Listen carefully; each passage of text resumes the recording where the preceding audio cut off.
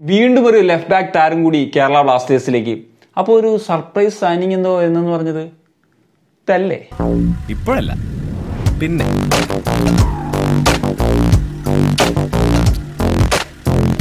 Hi friends ഇസ്മി അഭിഷമാന്റെ എല്ലാവർക്കും ഫുട്ബോളിന്റെ മറ്റൊരു വീഡിയോയിലേക്ക് സ്വാഗതം. കേരള ബ്ലാസ്റ്റേഴ്സിന്റെ വിംഗ് ബാക്ക് പൊസിഷനിൽ കുറച്ചും കൂടി ശക്തി പകരാൻ മറ്റൊരു താരത്തെ കൂടി ടീമിൽ എത്തിച്ചിരിക്കുകയാണ് ബ്ലാസ്റ്റേഴ്സ് ധനചന്ദ്ര മേത്തെ എന്ന് പറയുന്ന ഐ ലീഗ് ക്ലബായ ട്രാവോ കഴിഞ്ഞ കഴിഞ്ഞൊരു സീസണിൽ കളിച്ചിരുന്ന ഒരു താരത്തെയാണ് ബ്ലാസ്റ്റേഴ്സ് ഇത്തവണ ടീമിലേക്ക് എത്തിക്കുന്നത്.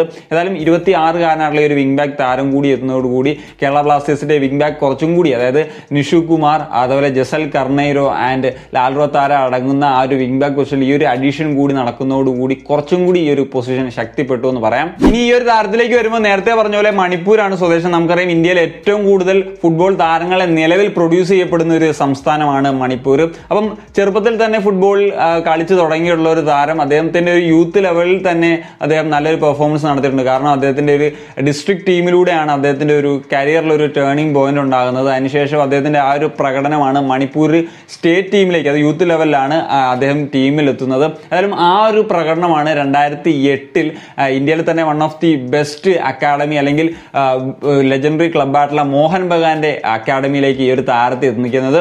അതിനുശേഷം തൊട്ടടുത്ത വർഷം ഒറീസയിലുള്ള സാമ്പൽപൂർ എന്ന് പറയുന്ന ഒരു അക്കാഡമിയിൽ ഈ ഒരു താരം എത്തുകയായിരുന്നു. രണ്ടായിരത്തി പതിനൊന്നിലാണ് പൂനെ എഫ് സിയുടെ നമുക്കറിയാം ഇപ്പോൾ നിലവിൽ ഈ ഒരു ക്ലബ്ബ് ഇല്ലെങ്കിൽ കൂടി ഒരുപാട് ഒരു വിപ്ലവം സൃഷ്ടിച്ചിട്ടുള്ള ഒരു ക്ലബ്ബാണ് പൂനെ എഫ് സി. അപ്പം ആ ഒരു പൂനെ എഫ് സിയിൽ ഈ ഒരു താരം എത്തുന്നത് പൂനെ എഫ് സിയിലൂടെ തന്നെയാണ് ഈ ഒരു താരത്തിന്റെ ഐ ലീഗിലേക്ക് അല്ലെങ്കിൽ അദ്ദേഹത്തിന്റെ ഒരു പ്രൊഫഷണൽ ഒരു സീനിയർ ലെവലിലുള്ള ഒരു കരിയറും തുടങ്ങുന്നത്. പൂനെ എഫ് സിയിൽ അദ്ദേഹം ഉണ്ടായിരുന്നതിൽ കൂടി അദ്ദേഹത്തിന് കാര്യമായിട്ടുള്ള അവസരങ്ങൾ അങ്ങനെ ലഭിച്ചിരുന്നില്ല. ഒരു യങ് പ്ലെയർ ആയതുകൊണ്ട് തന്നെ ആയിരിക്കണം. എന്നാൽ രണ്ടായിരത്തി പതിനേഴിൽ ഓസോൺ എഫ് സിയിൽ ഐ ലീഗ് സെക്കൻഡ് ഡിവിഷൻ കളിക്കുന്ന ബംഗളൂരു ബേസ് ചെയ്തിട്ടുള്ള ഒരു ക്ലബ്ബാണ് ആ ഒരു ക്ലബ്ബിൽ എത്തിയ ശേഷമാണ് അദ്ദേഹത്തിന് കൂടുതലായിട്ടുള്ള ഒരു അവസരങ്ങളും ഒക്കെ കിട്ടുന്നത് ആ ഒരു പ്രകടനം സഗോൽ ബന്ധം എന്ന് പറയുന്ന മണിപ്പൂർ ഒരു സ്റ്റേറ്റ് ലെവലിൽ കളിക്കുന്ന ഒരു ക്ലബ്ബാണ് മണിപ്പൂരി ലീഗിൽ അപ്പം ആ ഒരു ക്ലബിലേക്ക് ഈ ഒരു താരം എത്തുന്നത് അവിടെ നടത്തിയ ഒരു പ്രകടനമാണ് ചർച്ചിൽ ബ്രദേഴ്സിന്റെ സ്കൗട്ട്സ് ഈ ഒരു താരത്തെ ചർച്ചിൽ ബ്രദേഴ്സിനെ ആ ഒരു ടീമിലേക്ക് രണ്ടായിരത്തി പതിനേഴ് പതിനെട്ട് സീസണിലേക്ക് എത്തിക്കുന്നത്. ചർച്ചിൽ ബ്രദേഴ്സിന് വേണ്ടി ആ ഒരു സീസണിൽ അദ്ദേഹം നല്ലൊരു പ്രകടനമാണ് കാഴ്ചവെച്ചത്. ഏതാണ്ട് മുഴുവൻ മത്സരങ്ങളും കളിച്ചു. നല്ലൊരു പെർഫോമൻസ് അദ്ദേഹത്തിന്റെ ഭാഗത്തു നിന്നുണ്ടായി.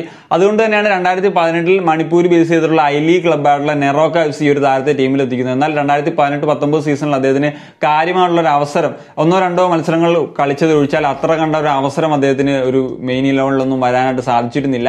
അതിനുശേഷമാണ് നമുക്കറിയാം ട്രൗ എഫ് സി എന്ന് പറയുന്ന മറ്റൊരു മണിപ്പൂരി ക്ലബ്ബ് ഐ ലീഗിലേക്ക് പ്രൊമോട്ട് ചെയ്യപ്പെട്ട് വരുന്നതും അങ്ങനെ ഈ ഒരു താരത്തെ അവർ ടീമിലെത്തിക്കുന്നതും. കഴിഞ്ഞൊരു സീസണിൽ പറയുകയാണെങ്കിൽ ഏതാണ്ട് മുഴുവൻ മത്സരങ്ങളും ട്രാവോ എഫ് സിക്ക് വേണ്ടി കളിച്ചിട്ടുള്ള ഒരു താരമാണ്. നല്ലൊരു പെർഫോമൻസ് നടത്തി.